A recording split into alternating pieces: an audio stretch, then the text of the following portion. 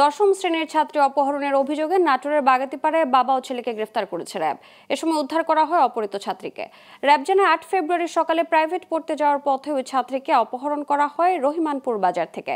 সন্ধ্যায় তার বাবা বাদী হয়ে অন্তর ও তার বাবা আতাহার আলী সহ অজ্ঞাত তিনজনকে অভিযুক্ত করে থানায় মামলা করেন। প্রযুক্তির সহায়তায় র্যাব অভিযুক্তদের নাটোরের হরিশপুর এলাকা থেকে গ্রেফতার ও ওই ছাত্রীকে উদ্ধার করেন। গ্রেফতার অন্তর আহমেদ ও আতাহার আলী রহিমানপুর এলাকার বাসিন্দা।